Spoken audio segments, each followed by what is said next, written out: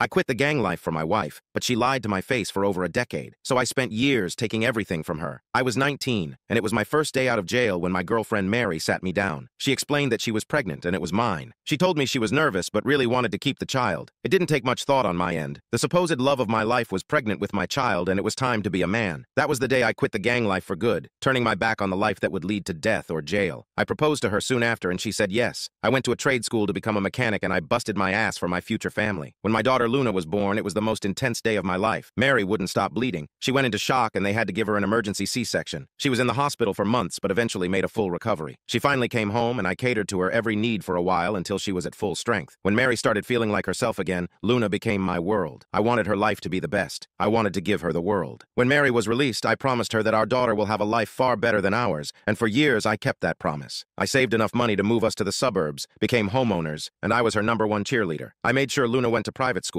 made sure she knew how to defend herself, and always made sure I was the perfect husband. As the years went by, I owned my own garage. My cousin, who I considered my best friend, became a pastor, and my relationship with my wife was stronger than ever. I made sure I kept my prison body, but Luna, Luna hated me. Since she turned 13, she just started hating me. She didn't want me to hug her, rolled her eyes every time I told her I loved her, ignored me when I asked her about her day in school. It hurt me, and Mary saw it. She told me that she's a teenager and that I should just let it ride. I wanted to show her how much I loved her, so for her quinceañera, I wanted to go all out. I got everything she wanted, and she was still disrespectful, and briefly the old me almost came out just to put her in her place, but instead I went to my cousin, vented my frustration and doubts about being a good father, and he told me to just let her be and he said a prayer for me. I wanted a slideshow for the father-daughter dance. I got a chunk of the pictures of us together, but I realized I didn't have any recent pictures of us. She didn't want to take any. The last time I had pictures of her and I smiling with me was on her 13th birthday, and those were on my daughter's broken tablet. I took that tablet, went to a repair shop, and I didn't care about the cost. After a day and $300, the tech fixed it, and I was happy. Little did I know that this happiness would soon be followed by the biggest heartbreak of my life. I opened her tablet, and then the instant messages appeared. It was my daughter talking to my wife. It was a long banter that she didn't want me to dance with her, and it did hurt. But like my wife said, she's being a teenager. Then she said something that destroyed me. She texted why she had to do the father-daughter dance with me since I'm not her father. I wasn't her father. I wasn't. I felt my heart stopped. I got dizzy. My mouth dried up, and I needed to sit down. My wife responded that I raised her. I loved her, and that makes me her father. But Luna responded by saying that my cousin is her father, and she can't wait for her to turn 18 so she could tell me the truth and she could live with her real dad, that she hated me. She thanked God that I'm not her father. Mary began cussing her out, saying that it was a mistake for my cousin to tell her the truth two years ago, and the more they talked, the angrier I got. My wife lied to me for 15 years. My cousin, whom I confide my issues about Luna and my fears about being a bad father, not only slept with my wife, but had me raise his child. I wanted to hurt them. I felt a mixture of anger, sorrow, grief. I wanted to scream, cry, and die at the same time, if that makes any sense. I went to a dark place, and so I wouldn't do anything stupid. I told Mary that I needed to focus on work so I could pay the quints, and instead I drove to Manhattan and saw my old public defender who wasn't a low-level attorney anymore. He had a nice expensive firm near Midtown East. I was surprised that he remembered me, but apparently I was his first case as a public defender. We sat down and I told him everything, gave him the tablet, and when he turned it on, the messages just kept coming. Only this time, Luna was talking to my cousin, her real father, and he was telling her to give me a chance, how I was always there for her. But Luna told him that so was he, how it makes sense that they have so much in common, and even called him Poppy multiple times in their conversation, and he responded and told her that she was his little girl. We went through our options, and he asked me what do I want to do, and I told him that I wanted to go full scorched earth. I wanted to poison the well, and he asked me several times if that is what I wanted, and nodded. I also told him that everything had to be filed before the quince in two weeks, so we sat down and spent the next 12 hours on what needed to be done, and I followed his instructions to the letter. I secretly placed my business for sale, called the private school and told them that I will not be paying for next year, closed the college accounts, and the savings that I had for Luna, and prepared to place my house for sale online. No one was the wiser. I followed his instructions perfectly. There was only one thing I deviated from, the day of the quince. That day went off without a hitch. The whole family was there. Luna was smiling, having fun. Mary kept asking me if I was okay, and I lied to her.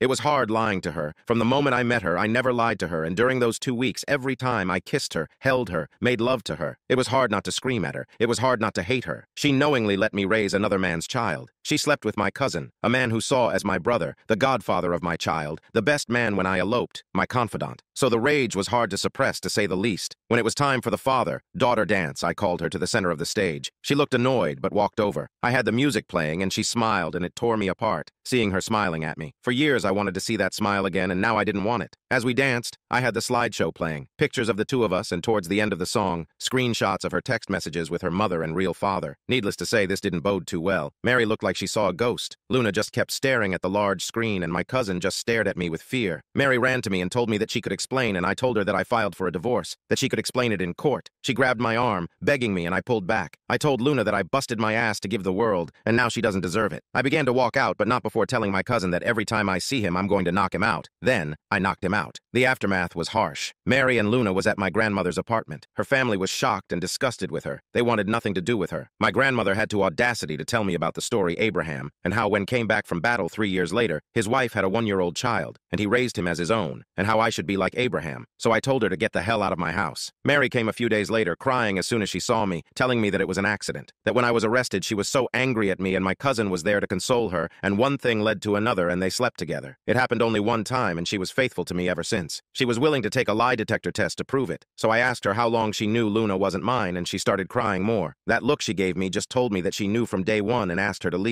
She wanted to go to counseling, telling me that I'm overreacting and we could make it work. It was in the past, and I needed to get over it. That I am Luna's father, despite what happened, and I allowed my temper to get the best of me. I must have repeated, get over it, over a dozen times at full volume while grabbing her things and tossing it out the door. I told her that I didn't want to see her face ever again, and I told her that this life that I built no longer belongs to her before shoving her out the door. A couple of weeks went by and she kept blowing up my phone. Not once Luna tried to reach out to me. Mary was shocked to learn that I sold my business. Even more so when she learned that I had an open house. She came in screaming, telling the viewers to get out of her house and pleading with me to seek help, that I was ruining our marriage, that I had no right to sell our home, the home where we raised our child in, and I told her that this house is full of lies. It's a house where I raised another man's child, and when I sell it, I will give her half, and ordered her to get out before I called the cops. It was a bluff. All she had to do was play the victim and I would have been arrested, but she didn't. She complied. Shortly after this, my cousin came to talk to me and I knocked him out, dragged him outside, and closed the door. I refused mediation. Mary wanted to reconcile, but I didn't. I wanted a divorce, and my attorney filed for a fast-track divorce, and in three months we were in the Nassau County Courthouse. I barely spoke to anyone during that time. My attorney took care of everything. First, Mary's lawyer tried to talk about my past when I was in a gang, as if my past barred a reason for me to be a terrible husband and father. But my attorney quickly smacked that down and the judge reprimanded her attorney for trying to shame someone who turned their life around. My attorney presented all the evidence and offered a lump sum alimony payment with the pending sales of the house and business. At first, Mary kept asking me to reconsider, but I ignored her, and when she finally realized that I'm not budging, she agreed. Yet the real surprise happened when it came to child support. My attorney presented all of the text messages from Luna's conversation with Mary, showing that not only Luna knew I am not her father, but she cannot wait to be with her real father, saying that she no longer has to live a lie. Mary was completely caught by surprise from this. Then my attorney filed a motion to have my name removed from Luna's birth certificate, have my last name removed, as well as not being responsible for any child support since all parties agree that my cousin was her father. Mary was shocked by this. She yelled at me, begged me not to do this to Luna, that I am her father because I raised her, and as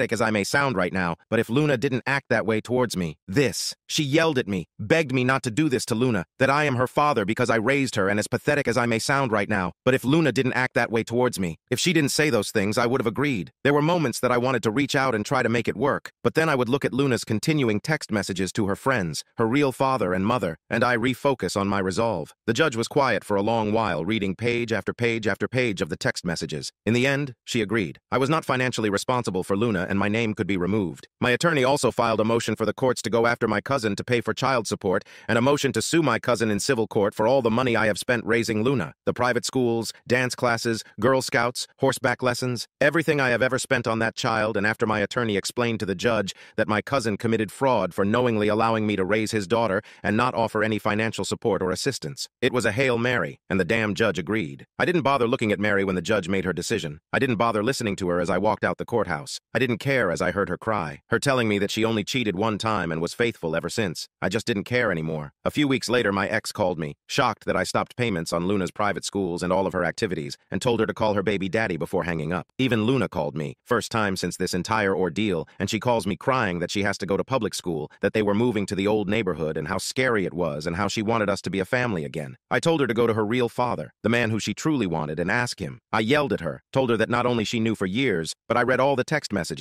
the back and forth and from her own words. She was thankful that a hoodlum like me wasn't her father, even though I haven't been a hoodlum since the day I found out I was going to be a father. I hung up on her after that. I thought about ending it countless times, thought about ending my cousin, but I made him pay. He had to pay me a half a million dollars, a half a million that was all mine, and not one cent belonged to my ex because she agreed on the lump sum. I didn't care that the money came from the church. I was hurting. I left New York shortly after, went to Idaho as furthest away from New York as possible. I just picked a random state and city and just left. Opened up a new shop, got a house, but for two years, years, I had trust issues. For two years, I saw a therapist, anger management, I went to rage rooms. It was difficult, until I found myself going back to church, and ironically, that was where I met my fiancée. Jocelyn is wonderful. She just turned 30 at the time, and we just hit it off. I told her everything that happened to me. I explained to her that I'm going to have trust issues, and she understood. A year later, she told me that I was going to be a dad, and insisted that for me to have a DNA test, just so I can have peace of mind. I forgot what it felt like to be happy again, and when my son was born, I was overjoyed. I called my grandmother for the first time in years. She cried, and when I told her about my son, she insisted that I come to New York so she could meet her great-grandchild, guilt tripping me by saying that she's 90 and would like to see me one more time, and I agreed. We flew to New York, rented a car, and drove to Bushwick. The one thing I dislike about the hood, you only need to see one person from your past, and the whole neighborhood knows that you're back. My grandmother saw my son, met my fiancé, made an offshoot comment in Spanish about her being white, and I just yesed her to death. I was planning to spend the week, do the tourist thing for once. It was Jocelyn's first time in her life in the Big Apple, and I wanted to make it special. Damn it, nothing works out as planned. First, my ex shouted my name from downstairs. I looked out the window and was surprised how fat she got. My grandmother told me in Spanish to talk to her, and Jocelyn agreed. I went downstairs, was awkwardly silent for a minute, and that anger just came back like a flood. Mary told me that I looked good and said that she looked like crap. She told me that she missed me, that she never been with another man since the divorce, and I ignored her. She even had the audacity to tell me that I'm a grandfather, and I gave her a look. Apparently, Luna got with a decent guy and got knocked up at 18. Her baby daddy joined the Marines to support them, and her father wanted nothing to do with her, just pays the child support and refuses to acknowledge her. He's no longer a pastor and is working at the Banco Popular two blocks over. Then told me that Luna named the baby after me, and I couldn't stand looking at her. Mary wanted me wait because Luna was on her way over, and I just walked away. I went to my grandmother's house, and I didn't have to tell Jocelyn anything. She just knew, and we left. In the elevator, I told her what happened, and she smiled and told me everything was going to be all right. The look on Mary's face when we left the building. She was looking at my fiancé like she was the other woman, and Jocelyn, without missing a beat, introduced my son to her. Well, she said, I would like you to meet his biological child.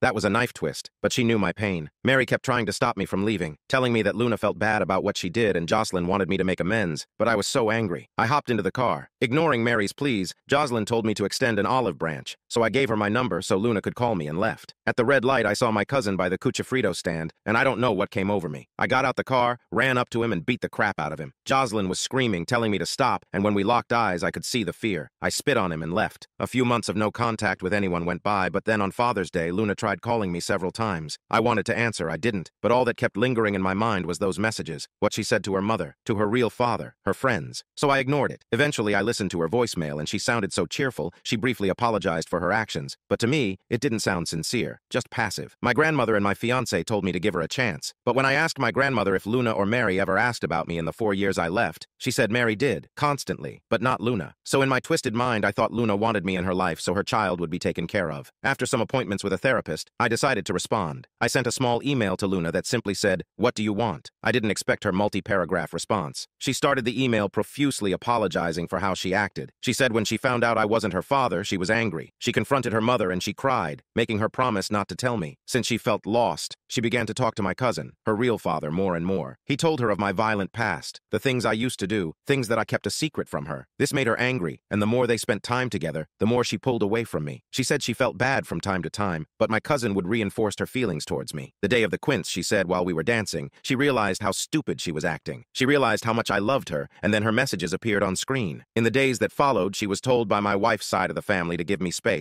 to not call me, and she listened. She said she was watching her family fall apart because of her and she couldn't do anything to fix it. She told me she understood why I did what I did, yet she wanted to reach out. Her grandfather kept telling her that I loved her, that I raised her, and despite what I saw through her messages, I will do the right thing, and she believed him. During the divorce, her mother fell in a dark place. Not talking to her, barely eating, she was just existing. When she found out that my name was removed from her birth certificate, she said she had a panic attack. Her mother told her that they will have to move back to Brooklyn, and when she asked about her life and school, her mother told her that was the life your father gave you, and he's not your father anymore. So she called me, begging, and I cursed her out, then hung up. She cried for days. She tried to reach out to my cousin, who pretty much ignored her. She even went to the church, and he told her to leave, called her a mistake. Her mother refused to talk to her, basically locked herself in a room, only leaving to use the bathroom or take a shower. She begged her grandfather to take her to see me, and when they came to Long Island, she learned that I moved. Her grandfather told her that he will talk to my grandmother and find out where I went. For the next two years, according to her, it was hell. The entire neighborhood knew what happened to her and her mother. Her father avoided her at all cost and tried not to pay child support. It took her grandfather to threaten him to start paying. In the meantime, her mother didn't talk to her. She was just locked in her room. The few times they did spoke, she called her a ungrateful girl, and she was the reason why she lost the love of her life. Her grandfather had to put her mother in her place by telling her that her infidelity was the reason why she lost the love of her life, and she locked herself back into the room. So Luna barely stayed home, and that was how she met the father of her child. He worked in the corner bodega. They were the same age, and after a few months of talking, one thing led to another, and she ended up pregnant. Her grandfather was furious, but when her boyfriend insisted that he would marry her, that cooled things down. Luna said her pregnancy was a blessing in disguise. Her mother began talking to her again, and even began leaving the room to be by her side for every checkup. Being a senior in high school while pregnant was cliche, but she made it work. A month before the baby was born, she graduated, and her boyfriend joined the Marines. He wanted to elope before leaving, but she wants a wedding. Her boyfriend had no issues naming his son after me. Apparently, his father was absent, and the fact he was a junior was a reminder that he shared the name of a man who didn't want him. When she heard I was in town, she got a speeding ticket trying to get to my grandmother's apartment. She wanted to see me, wanted to apologize,